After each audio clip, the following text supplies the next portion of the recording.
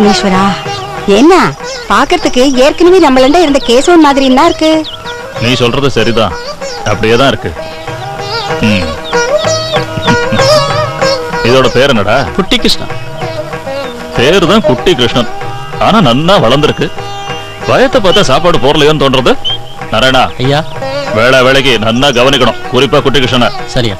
ம். நானே கூட்டிட்டு போங்க. சரி வா.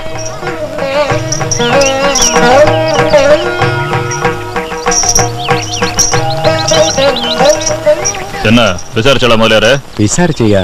கேள்விப்பட்டாலும் உண்மையா? சொல்ல கஷ்டமா இருக்கு. எல்லாம் உண்மைதான். ம். அவ பேர் என்ன? கங்கா.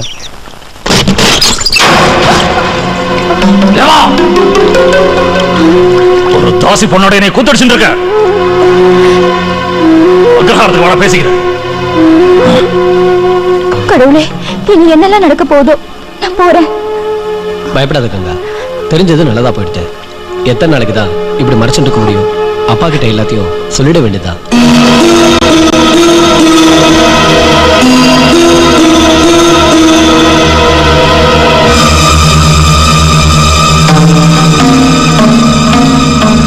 எவ்வளவு தைரியம்டா உனக்கு. அப்பா மன்னிக்கணும். கொஞ்ச நாளாவே உங்களாண்ட இந்த விஷயத்த சொல்லணும்னு நினைச்சிட்டு இருந்தேன். என்ன விஷயம்? கங்காவை பத்தி தான் நாங்க ரெண்டு பேரும் ரொம்ப நெருங்கிட்டோம். இந்த அக்ரஹாரத்து அர்ச்சகர் குடும்பத்தை சேர்ந்த ஆம்பளை எல்லாம் அழகான பொம்மநாட்டிகள் கிட்ட நெருங்கி பழகிறது சகஜம்தான். ஆனா அதை அத்தோடு நிறுத்திக்கணும். நீங்க சொல்றது எனக்கு புரியுது. காரியம் முடிஞ்சதும் தூரமா ஒதுக்கி வச்சிடணும்னு சொல்ற உங்க கொள்கை தான் எனக்கு பிடிக்கல. யாருகிட்ட பேசுறீங்கிறத மறந்துடாதீங்க தம்பி. என் அப்பா கூட தான். கங்கா தனியா இல்ல. அவ என்னோட குழந்தைக்கு அம்மா ஆக போறா. தேவா இவன் சொல்றதெல்லாம் உண்மையாமா அக்ரஹாரத்து மருமகளா ஆகணும்னு ஆசையாடி உனக்கு! அவளை அடிக்காதீங்க அடைச்சு உனக்கு சொன்னா கேளுங்க தம்பி. பேசா கேளுங்க. வேண்டாப்பா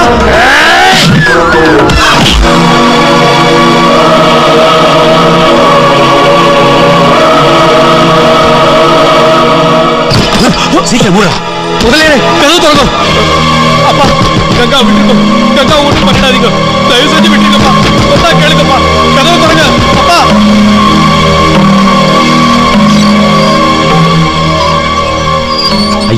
தண்ணி தெளிச்சும் கங்கா கண்ணே திறக்கல. செத்துட்டான்னு நினைக்கிறேன். இப்ப என்ன பண்றது? செத்து போனவளை வச்சுட்டு என்னடா செய்யலாங்கிற? கொண்டு போய் வச்சு கொளுத்த வேண்டியதுதானே வந்துட்டான் கேட்கறதுக்கு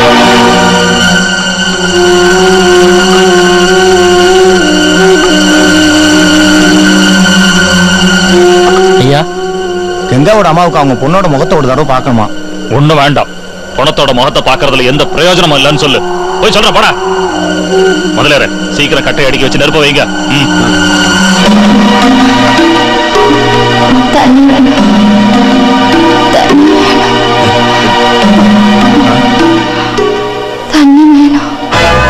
உயிரோட தான் இருக்கா? அவ சாகல.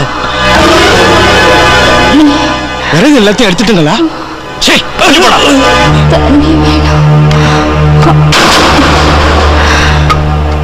பிள்ளையார நீங்க நிற்ப சீக்கிரம்.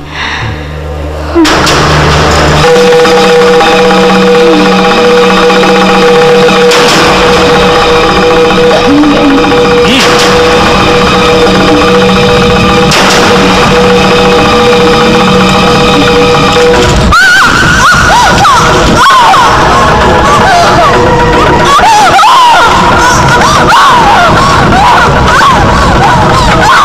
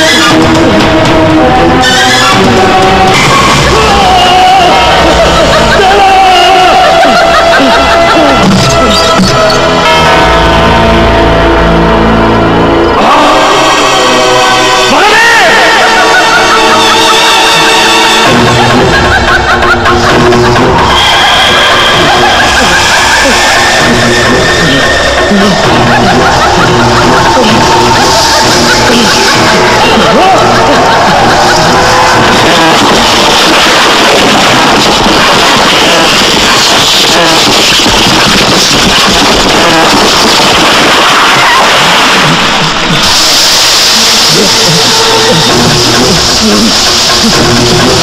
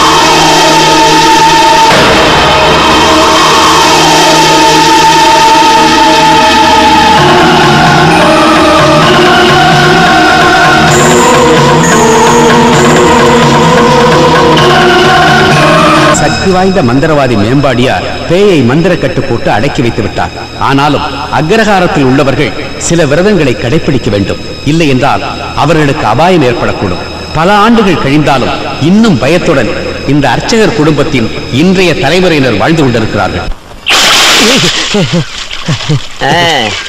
கிருஷ்ணா கொஞ்ச நாளா உன்னை கவனிச்சுட்டு தான் இருக்கேன். விரதத்தை ஒழுங்கா கடைபிடிச்சிட்டு இருக்கியா?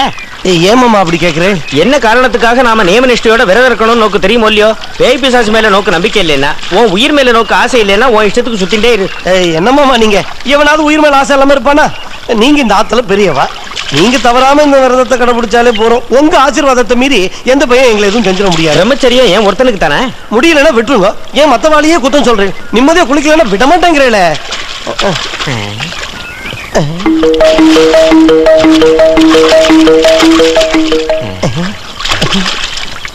பாத்தேல இந்த வயசுல நீங்களே பொண்ணுங்களை பார்த்து சமைச்சு போயிடுறேன். நான் தவறான எண்ணத்துல பாக்கலடா அதை நாங்க சொல்லணுமாமா யாரது? அஹ், நம்ம வேலைக்காரி மீனாட்சி. விட்டாவ ஜாதகத்தையும் சொல்லுங்க. ஐயோ அவளை பார்த்து என் கண்ட்ரோல் இருக்க நான் விரும்பல. நான் போறேன். நேக்கு நல்ல கண்ட்ரோல் இருக்கு. நீ போய் தொலை. நான் இன்னும் செத்த நாள் குளிக்கணும். மனசக்தி வேணும்டா மனசக்தி. பெரிய மனசக்தி. சொந்தமா சாட்டைக்கே வழி இல்லை. இதுல யானை வாங்க யோசனை வேற. என்னடா இங்க புலம்பிட்டு இருக்க இல்ல நீங்க ரொம்ப அழகா இருக்கேன்னு சொன்னேன். இது என்னடா அழகு? ஒரு பத்து வருஷத்துக்கு முன்னாடினா நீ என்ன பாத்துருக்கணும் நல்ல வேலை நான் பார்க்கல.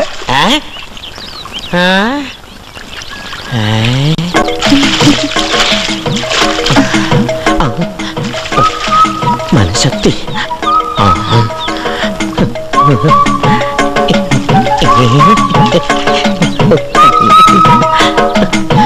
சிரிச்சுதான் ஆத்திக்கணும். பிரம்மச்சாரியா போயிட்டேனே. இவ என்ன என்ன நினைச்சிட்டு இருக்கா? நான் ஸ்திரீலோலன் இல்ல. பகவானே மனசக்தி எனக்கு தரத்துக்கு மறந்து விடாதே. மனசக்தியை நீ தர மறுத்தாலும் நானே சொந்தமா மனசக்தியை வரவழைச்சு விடுவேன். ம், கிடைச்சிடுத்து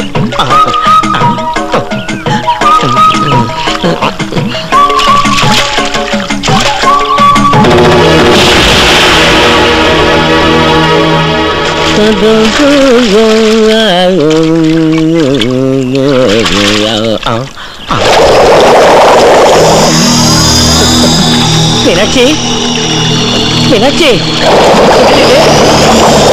உடனே வெளியில் வந்துடுறே. எனக்கு பிரஷர் இருக்கு. என்ன டென்ஷன் பண்ணாத. நீ மீனாட்சி எங்க போய் தொலைஞ்ச நீ யாரு? என்ன உங்களுக்கு தெரியாது. நான் ஒரு தாசி பொண்ணு. தாசி பொண்ணா? அங்க மீனாட்சி தான் குளிச்சுட்டு இருந்தா? அவ போயிட்டா. அதான் நான் உங்க பக்கத்துல வந்திருக்கேன். இப்போ இங்க நீங்களும் நானும் மட்டும்தான் இருக்கோம். எனக்கு உங்களை ரொம்ப பிடிக்கும். உன்னை பார்த்தா தாசி பொண்ணு மாதிரியே இல்ல. நேக்கு திருமண பாக்கியம் இருந்திருந்தா உன்னையே என் மனைவி ஆக்கிட்டு இருப்பேன். நீங்க என்ன ரொம்ப புகழறீங்க.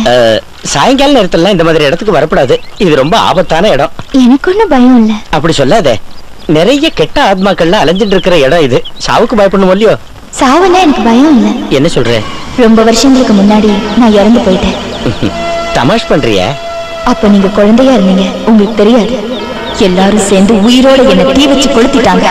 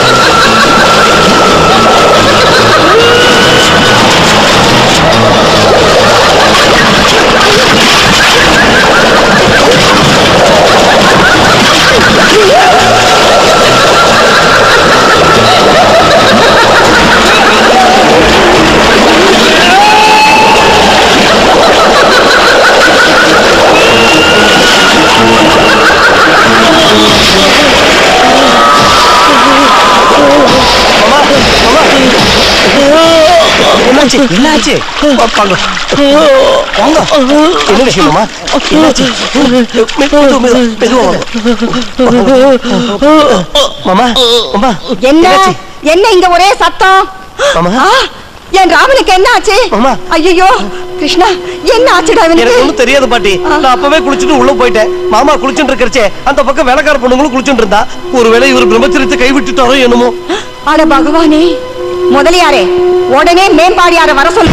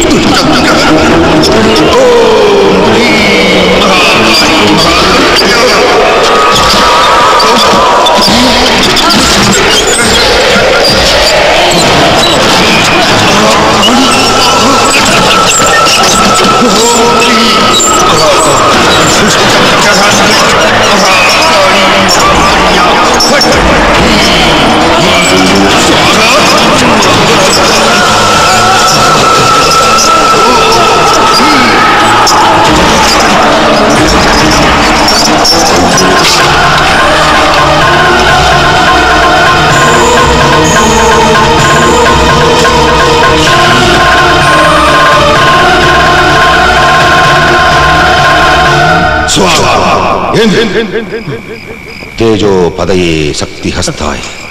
சூரியோ பதையே நமகா பகவானே. இவ்வளவு காலம் நாம எதுக்கு பயந்துட்டு இருந்தோமோ அது நடந்துருச்சு. கட்டுக்குள்ள கொண்டு வந்து அடக்கி வச்சிருந்த கெட்ட ஆவி எப்படியோ தப்பிச்சிருச்சு. வர வழியில அதுக்குண்டான அறிகுறி எனக்கு தெரிஞ்சது. இது எப்படி நடந்தது? இங்க யாராவது பிரம்மச்சரியத்தை கைவிட்டாங்களா? விரதத்தை ஒழுங்கா கடைபிடிக்காம விட்டுட்டாங்களா? பாத்தியா? மந்திரிச்சு கட்டின தாயத்து கூட தொலைஞ்சு போச்சு. கைய நீட்டு. நீ உயிர் பொழைச்சதே ஏதோ பெரும் பாக்கியம்னு நினைச்சுக்கோ. இந்த குடும்பத்தை ஆபத்தில இருந்து காப்பாத்த உங்களால தான் முடியும். உங்களுக்கு தெரியாதா என்ன? அவ அவ்வளவு சாதாரணமானவ இல்ல. கர்ப்பமா இருந்தப்ப உயிரோட தீல வெந்தவ. உலகத்துல எந்த ஒரு மந்திரவாதியும் அவ்வளவு சீக்கிரம் அவளை அடைக்கிட முடியாது.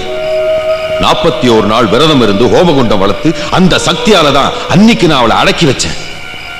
மறுபடியும் நான் கடுமையான விரதம் இருந்தாலும் இல்லைன்னா அவ என்னையே கொன்னுடுவா. அவ்வளவு சக்தி அவளுக்கு. தற்சமயம் எல்லாரும் ஜாக்கிரதையா இருங்க. மந்திரிச்சு கட்டின தாயத்தை தொலைஞ்சு போகாம பாத்துக்குங்க பிரம்மச்சரிய விரதத்தை ஒழுங்கா சிரத்தையோட கடைபிடிங்க பொண்ணுங்க கூட பழகினாலே விரதம் கெட்டு போயிடுமா? என்ன கிருஷ்ணனுக்கு பெண்களோட பழகணுங்கிற ஆசை வந்துடுச்சோ?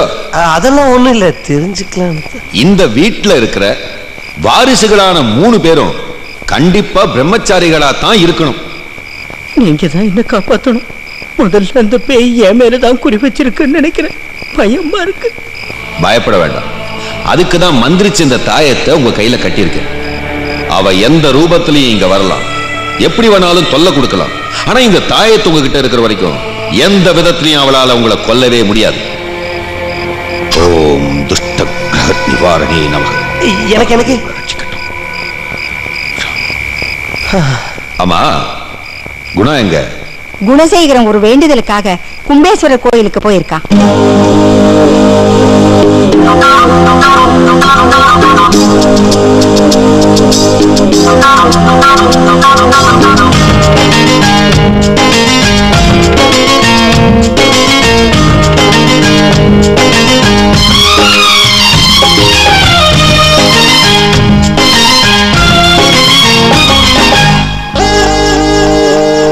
கட் இட் ஓகேவா very good excellent director sir நான் சீக்கிரமாக வீட்டுக்கு போகணும். கோயிலுக்கு போகிறேன்னு பாட்டிக்கிட்ட போய் சொல்லிட்டு வந்திருக்கேன். இந்த அட்வர்டைஸ்மெண்ட் அடுத்த வாரமே ரிலீஸ் பண்ணும் ப்ளீஸ் கொஞ்சம் ஹெல்ப் பண்ணு குணா. ஆ இன்னைக்கு உன் கூட ஒரு புதுமுகம் நடிக்கிறா தெரியுமா?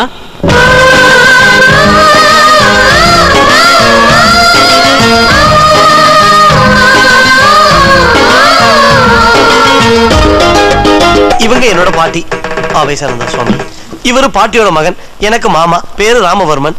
அவங்க மாமாவோட தங்கச்சிங்க அவங்க தங்கச்சியோட பொண்ணுங்க அவரு முதலியார் ஐயா அவரு பாட்டியோட மாப்பிள்ளை. எனக்கு மொத்தம் ஆறு குழந்தைங்க நாலு ஆணும் ரெண்டு பொண்ணும். அதுல மூணு ஆண் பிள்ளைகளும் கொடூரமான முறையில செத்துட்டாங்க. நான் எல்லா விஷயத்தையும் சொல்லிட்டேன். அப்படியா? சொல்லிட்டியா? இந்த அக்ரஹாரத்துல பிறக்கிற பெண்களுக்கு மட்டும்தான் கல்யாணம் நடக்கும்.